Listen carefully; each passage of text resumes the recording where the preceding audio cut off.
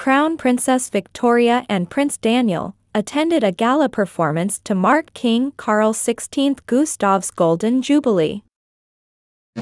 Watch the full video on the channel.